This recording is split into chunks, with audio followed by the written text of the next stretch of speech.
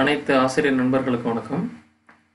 So இன்றைக்கி நம்ம பார்க்க போகிற டாப்பிக்கில் ஒரு இன்ட்ரொடக்ஷன் என்ன அப்படின்னா page maker so page maker அப்படிங்கிறது first first Aldus page maker அப்படின்னு தான் வந்தது. ஆயிரத்தி தொள்ளாயிரத்தி எண்பத்தி அஞ்சுலேயே இதை ஸ்டார்ட் பண்ணிட்டாங்க. ஆனால் எண்பத்தி எட்டில் தான் இதை ரிலீஸ் பண்ணியிருக்காங்க. ஸோ அதுக்கப்புறம் நம்பர் ஆஃப் வெர்ஷன்ஸ் வந்துருச்சு. அந்த வெர்ஷன்ஸை நம்ம இப்போ யூஸ் பண்ணிக்கிட்டு இருக்கோம். ஸோ இப்போ அந்த வெர்ஷன்ஸில் நம்ம யூஸ் பண்ணக்கூடிய அந்த பேஜ் மேக்கரில் ஒரு டெக்ஸ்ட்டு எடிட்டராகவோ இல்லை ஒரு ஒரு கிராஃபிக்ஸ் எடிட்டராகவோ நம்ம அதை யூஸ் பண்ணிகிட்டு இருக்கோம். ஸோ அதோட அப்டேட்டட் வெர்ஷனில் இதோட அட்வான்ஸாகவும் நம்ம யூஸ் பண்ணிகிட்டு இருக்கோம். ஸோ இருந்தாலும் அந்த ஃபஸ்ட்டு ப்ரீவியஸாக வந்த ஃபஸ்ட்டு வெர்ஷனில் என்ன மாதிரியான ஃபீச்சர்ஸ்லாம் இருந்தது அப்படிங்கிறத தெரிஞ்சுட்டு போனோம் அப்படின்னா இன்னும் கிளியராக நம்ம அந்த பேஜ் மேக்கரோட ஒர்க் எப்படிங்கிறத தெரிஞ்சுக்கலாம். நெக்ஸ்ட் வந்து இப்போ பேஜ் மேக்கரில் சின்னதாக ஒரு இன்விடேஷன் இல்லை ஒரு நோட்டீஸ் இதுமாரி அடிக்கிற மாதிரி இருந்தால் இப்போ நீங்கள் நிறைய இப்போ பிரிண்டர்ஸ் ஆப்செட்ஸ்னு சொல்லி நீங்கள் பார்த்துருப்பீங்க. அந்த ஆப்செட்ஸில் ஒரு ஒரு லெட்டர்ஸாக நீங்கள் என்ன டை கண்டென்ட் கொடுக்குறீங்களோ அது எல்லாத்தையும் எழுதி எழுத்து அச்சுகளாக முதல்ல என்ன பண்ணுவாங்க அப்படின்னா கோத்துக்குவாங்க. கோத்து ஒரு ஒரு எழுத்து அச்சையும் பிரிண்ட் பண்ணி வைப்பாங்க. அதில் ஏதாவது எழுத்து பிழை இருந்துச்சுன்னா அந்த அச்சை எடுத்துட்டு திரும்ப வேறு அச்சை கொண்டு போய் வைக்கணும். எப்படி டைப் டைப் பண்ணும்போது அதுக்கான லெட்டர்ஸ் போய் டைப் ஆகுது இல்லையா? ஸோ அந்த மாதிரியான ஈவெண்ட் இதுலேயும் பண்ணுவாங்க. ஸோ இது ஃபஸ்ட்டு இந்த எடிட்டர் ஒர்க்குக்காக யூஸ் பண்ண பேஜ் மேக்கர் ஸோ அதுக்கப்புறம் தான் இந்த பேஜ் மேக்கர் சாஃப்ட்வேர்ஸும் ஒன்று கொண்டாடுவோம். ஸோ அதில் இன்னும் கிளியராக உங்களுக்கு அலைன்மெண்ட்டோ டெக்ஸ்ட்டோ நீங்கள் கிராஃபிக்கல் யூசர் இன்டர்ஃபேஸுங்கிற கான்செப்ட் கம்ப்யூட்டரில் கொண்டு வந்ததுக்கப்புறம் அதை இன்னும் ஈஸியாக பண்ணிகிட்டு இருக்கோம். ஸோ அதுக்கு வந்த ரிவல்யூஷன் தான் page maker three point zero Aldus அப்படின்னு ஃபஸ்ட்டு ஸ்டார்ட் பண்ணேன் ஸோ இதில் எப்படி இருக்குங்கிறதையும் நம்ம கொஞ்சம் பார்த்துடலாம். இப்போ நம்ம பேக்கில் பார்க்கக்கூடிய இந்த பேக்ரவுண்ட் ஸ்க்ரீனில் என்னென்ன வியூ வந்துருங்கிறத பார்க்கலாம். ஸோ அதில் first three point zero international ஸ்டாண்டர்டில் டெஸ்க்டாப் அப்ளிகேஷனுக்காக ஃபஸ்ட்டு கண்டுபிடிச்சது.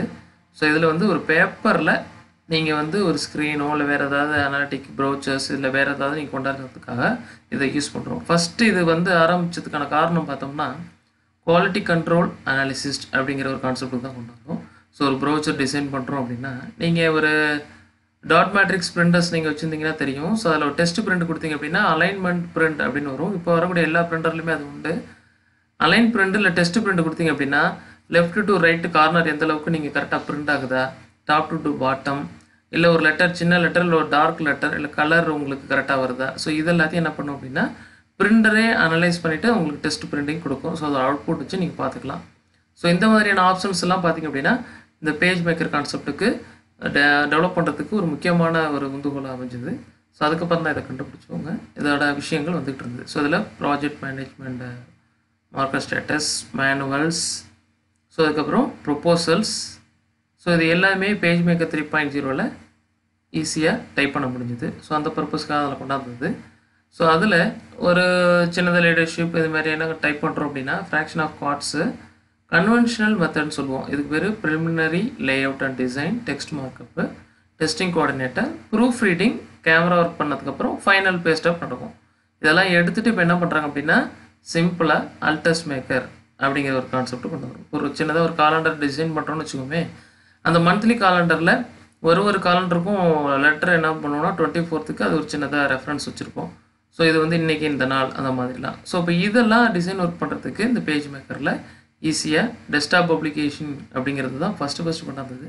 இதில் உள்ள டூல் பார்த்திங்க அப்படின்னா ஈஸியாக யூஸ் பண்ணுற மாதிரி இருக்கும். ஒரு line so consolidated line tool அதுக்கப்புறம் டெக்ஸ்ட் ஒன்று இருக்குது square rectangle cout step squared oval so circle so இந்த மாதிரிலாம் கொடுக்க நீங்கள் இந்த டூலை யூஸ் பண்ணிக்கலாம். அப்புறம் கிராப்பிங் டூல் இருந்தது. ஸோ டெக்ஸ்ட்டு ஃபைல்ஸ் வந்து நீங்கள் எடுத்து வைக்கிறீங்க அப்படின்னா அந்த டெக்ஸ்ட் ஃபைல்ஸ் வந்து அலைன்மெண்ட் எடுத்து வைக்கிறதுக்கு பிளேஸ் எந்த இடத்துல பேஸ்ட் பண்ணணும். ஸோ ஃபைல் இதில் வந்து பார்த்தீங்கன்னா ஃபுல்லாக டாஸ் ப்ராம்ப்டில் தான் ஃபஸ்ட்டு ஃபஸ்ட்டு பண்ணாந்தாங்க. டாஸ் ப்ராம்ப்ட்னு சொல்லும்போது கமாண்ட் ப்ராம்ப்ட் ஆர்கனைசேஷனில் தான் ஒர்க் பண்ணிகிட்ருக்கோம் ஸோ அந்த கமாண்ட் ப்ராம்ப்ட் என்விரான்மெண்ட்டை கைமோட்குள்ளார கொண்டு வந்தது பார்த்தீங்க அப்படின்னா இந்த அல்டஸ் பேஜ் மேக்கர் தான். இப்போ நீங்கள் பார்க்குற பேக்ரவுண்டில் உள்ள ஒரு ஒரு ஸ்க்ரீனும் பார்த்தீங்க அப்படின்னா நீங்கள் ஒரு சிசி ப்ரோக்ராமிங் எப்படி டைப் பண்ணும்போது வருமோ அதே மாதிரி தான் உங்களுக்கு என்விரான்மெண்ட்டே இருக்கும் பார்க்குறதுக்கு ஸோ அதில் நீங்கள் என்ன பண்ணலாம்? ஒரு டெக்ஸ்ட்டு எடிட்டிங் டெஸ்க்டாப் பப்ளிகேஷனுக்கு குயிக்காக யூஸ் பண்ணுறதுக்காக அதை யூஸ் பண்ணாங்க. ஸோ இது continuation auto flow manual flow இதெல்லாம் இப்போ நம்ம எப்படி அட்வான்ஸ் போர்ஷனில் பார்க்குறோமோ அதே போர்ஷன் மெத்தட் தான் ப்ரீவியஸாக அல்டஸ் பேஜ் மேக்கர்லேயும் கொடுத்துருந்தது. இப்போ பார்க்குறதெல்லாம் ஆட்டோ ஃப்ளோ தான். ஆட்டோ ஃப்ளோ மெத்தட்ஸில் நீங்கள் என்ன காப்பி பண்ணி பேஸ்ட் பண்ணுறீங்களோ அதை அடுத்தடுத்த page so auto flow method so இந்த ஆட்டோ ஃப்ளோ மெத்தட்ஸில் மார்க்கெட்டிங் ரிப்போர்ட்ஸ் இந்த வேலை எடுத்து வைக்கிறோம் அப்படின்னா அந்த மார்க்கெட்டிங் ரிப்போர்ட்ஸ் வந்து ஆட்டோ ஃப்ளோவில் கொண்டு வரலாம். இல்லை கிராஃபிக் ஃபைல்ஸாக இருந்தது அப்படின்னா அந்த இமேஜஸ் கூட நீங்கள் எடுத்து கொண்டு வந்து வைக்கலாம். ஃபார் எக்ஸாம்பிள் உங்களோட சார்ட்டு கிராஃப்ஸு இது எல்லாத்தையும் டிஸ்ப்ளே பண்ணுறதுக்கு இந்த Aldus page maker first use பண்ணிட்டு இருந்தாங்க. ஸோ ஈஸியாகவும் குயிக்காகவும் இருந்தது. ஸோ ஒரு லெட்டர் கண்டென்ட் மேலே கூட நீங்கள் என்ன பண்ணலாம் அப்படின்னா ஒரு சார்ட் எடுத்து வச்சு அப்படின்னா அந்த சார்ட் வைக்கிற இடத்துக்கு தகுந்தாப்புல அதோட டெக்ஸ்ட்டு ஆட்டோ அலைன்மெண்ட் எடுத்துக்கும். ஸோ அந்த டெக்ஸ்ட் ராப்பிங் மெத்தட்ஸ் அப்படி சொல்லுவோம். ஸோ அந்த டெக்ஸ்ட் ராப்பிங் மெத்தட் மூலிமா உங்களால் என்ன பண்ண முடியும்? அட்ஜஸ்ட்மெண்ட் பண்ணிக்கலாம். ஸோ எப்படி இங்கே அலைன்மெண்ட் பண்ணிட்டு வரோன்னு பாருங்கள் ஸோ எது வரைக்கும் நான் வந்து ஸ்கொயர் கட் பண்ணி வைக்கிறேனோ அதுக்கு தகுந்தால டெக்ஸ்ட் அலைன் ஆகிக்குது. பிக்சருக்கு தகுந்தாப்புல மெர்ஜ் பண்ணிக்கலாம். So scanned images scanned images எடுத்து கொண்டாந்து வைக்கிறோம் அப்படின்னா உங்களோட டேரக்ட் பேஜஸ்குள்ளாரியே கொண்டாந்து வச்சிடலாம். ஸ்கேன் பண்ண இமேஜஸ் எடுத்து கொண்டாந்து. ஸோ இந்த மாதிரி என்விரான்மெண்ட்லாம் அல்டஸ் பேஜ் மேக்கரில் யூஸ் பண்ணிகிட்டு இருந்தாங்க. ஸோ அதுக்கு அடுத்தது ஸோ இதில் கலர் ஈக்குவேஷன்ஸ் அதாவது உங்களோட டாட் மேட்ரிக்ஸ் பிரிண்ட் அதாவது three hundred DPI six hundred DPI அப்படின்னு சொல்லிட்டு உங்களோட குவாலிட்டி ரேஷியோஸ் இருக்கும். அந்த குவாலிட்டி ரேஷியோஸை இதில் கொண்டு வர முடியும். ஸோ அதுக்கப்புறம் ப்ரொஃபஷ்னல் ஃபான்ஸ் ஸோ இந்த ப்ரொஃபஷ்னல் ஃபான்ஸ் அப்படின்னு சொல்கிறது cyan magenta yellow black so இது பேஸ்ட் ஆன் உங்களோட பிரிண்டிங் கெப்பாசிட்டிக்காக கொடுக்குற கலரிங் ரேஞ்சு நீங்கள் என்ன ஷீட் நீங்கள் ப்ரிப்பேர் பண்ணுறீங்களோ அது கலர் ரேஞ்சோடு சேர்ந்து வரும். ஸோ அந்த ஃபார்மெட்டு தான் உங்களுக்கு கொடுத்துருக்கோம். ஸோ அல்டஸ் கார்பரேஷனில் அவுட்ஸ்டாண்டிங் டெக்னிக்கல் சப்போர்ட்டட் இருந்தது எக்ஸ்டெண்டட் சர்வீசஸ் கொடுத்தாங்க. அப்புறம் டெம்ப்ளேட்டட் ட்ரைனிங் டிசைன் அசஸ்மெண்ட் எப்படி பண்ண முடியும் அப்படிங்கிறத பற்றின டெமோஸ்லாம் நிறைய கொடுத்துருந்தாங்க. ஸோ டெஸ்க்டாப் அப்ளிகேஷனுக்கு மோஸ்ட் யூஸ்ஃபுல்லாக இந்த அல்டஸ் பேஜ் மேக்கர் யூஸ் பண்ணிகிட்டு இருந்தாங்க. ஸோ அதுக்கப்புறம் தான் நம்ம என்ன பண்ணோம் அப்படின்னா அடோபி பேஜ் மேக்கர் யூஸ் பண்ண ஆரம்பித்தோம் அந்த அடோபி பேஜ் மேக்கரோட சீரி